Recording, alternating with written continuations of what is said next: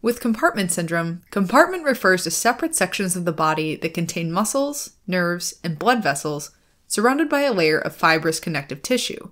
When the pressure within these compartments rises, normal blood flow can be cut off, leading to tissue damage due to hypoxia or the lack of oxygen.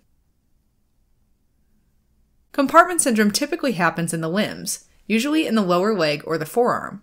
Now, if we remove the skin and then we remove the fat from the lower leg, we would uncover the fascia. Fascia surrounds the muscles, keeping them tightly together while they contract to move the limb, and it also helps attach these muscles to the bones.